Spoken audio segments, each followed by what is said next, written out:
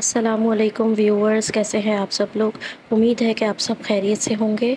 आज मैं आप लोगों के लिए लेकर आई हूँ बहुत ही आसान सी और बहुत ही मज़ेदार सी रेसिपी मीठी और नमकीन मटरियाँ।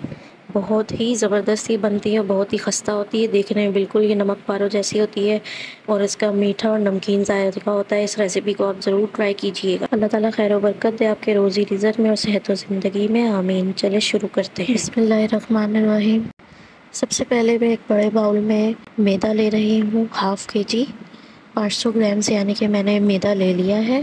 अब मैं इसके अंदर हाफ़ टी स्पून मीठा सोडा शामिल कर रही हूँ और वन टीस्पून सॉल्ट शामिल कर रही हूँ मैं इसमें। और इसको अच्छी तरह से मिक्स कर लेना है कि ये बिल्कुल वेल कम्बाइन हो जाए। और ये देखिए, इसके बाद मैंने इसके अंदर 50 ग्राम्स पाउडर शुगर जो चीनी होती है हमारे पास, उसको मैंने पीस लिया था बारीक और इसके अंदर मैं शामिल कर रही हूँ। इसको भी बिल्कुल मिक्स वेल कर देना है आपने। और इसके बाद मैं इसके अंदर पाँच से छः टेबल स्पून के करीब घी शामिल किया है। अच्छी तरह से इसको भी मिक्स कर लेना है ताकि जब हम तैयार करें इसको तो ये बहुत खस्ता बने। इसको अच्छी तरह से मिक्स कर लेंगे। ये देखें, जुड़ने लग जाए, इतना आपने मिक्स करना है। मैं हाफ़ कप दूध लिया है नीम गरम। और उसको उसमें शामिल करते जाएँ और टाइट सा आपने आटा गूंद लेना है। ना नरम हो, ना बहुत ज़्यादा टाइट हो नॉर्मल हो। जिस तरह समोसे की पट्टियाँ होती हैं, इसी तरह से इसकी भी टेक्सचर बन जाएगा। ये देखें इस तरह से आटा गूंदते जाएँ और इसको अच्छी तरह से आपने आटे को गूंद लेना है कि इसमें कोई भी क्रैक, कोई भी निशान वगैरह कुछ भी बाकी ना रहे। अच्छी तरह से आपने इसको गूंदना है और ये देखें, इसकी इस तरह से शक्ल हो गई है। देखिए।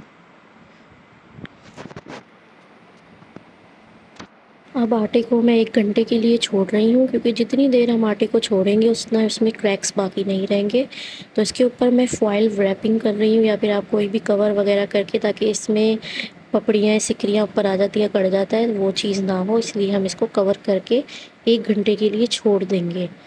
और एक घंटे बाद ये मैंने अनकवर किया है इसको, जो इसने ठहरना था ताकि ये अच्छी तरह ठहर जाए।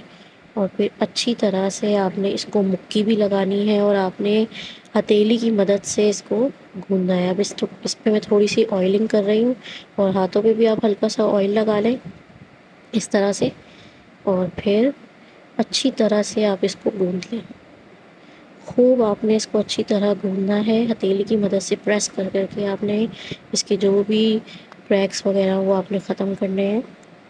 तो फिर इसके बहुत ज़बरदस्त ये नमक पारे बनते हैं। अब तमाम के आपने एक एक करके इसके तमाम के बॉल्स बना लेने, पेड़े बना लेने यानी कि, और इस तरह से आपको मैं दिखाती हूँ किस साइज़ का मैंने पेड़ा लिया है।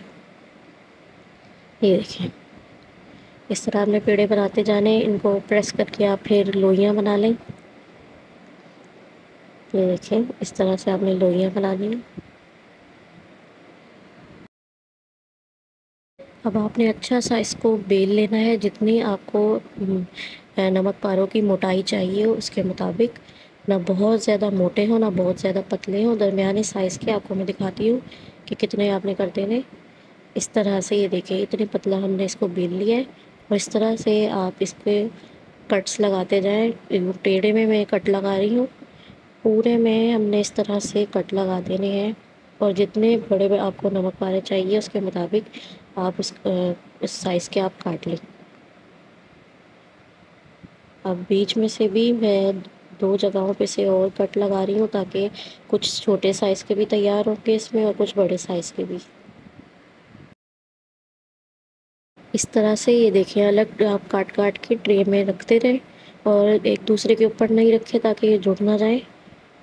इस तरह से मैंने तमाम को कटिंग कर लिया था। अब एक फ्राई पैन में मैं ऑयल ले रही हूँ, जिसमें आराम से मैं डीप फ्राई कर सकूँ और इसको गर्म होने देंगे।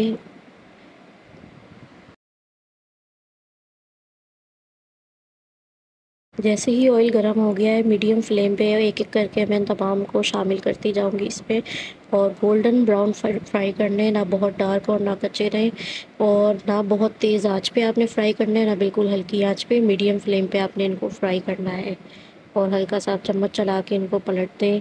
इस तरह से आपने चम्मच बीच में थोड़ा सा चलाते भी रहना है ताकि हर तरफ़ से ये क्रिस्पी से खस्ता से तैयार हो। इस तरह से इस, इसकी शक्ल आएगी ये देखिए। जैसे ही गोल्डन ब्राउन हो गए हैं, बास्केट में मैंने निकाल दिया है ताकि इनका ऑयल रिड्यूस हो जाए। उसके बाद आपने पेपर पे इसको खुशक करके डिश आउट करना है चाय के साथ, या शाम की चाय के साथ अपने मेहमानों को, अपने घर वालों को खिलाएँ। इस रेसिपी को ट्राई करें, इस वीडियो को लाइक करें। बताइएगा ज़रूर आपको कैसी लगी। दुआओं में याद रखिएगा। Thanks for watching the video मिलते हैं आप सबसे, इंशाल्लाह नेक्स्ट वीडियो में। जब तक के लिए अल्लाह हाफिज़।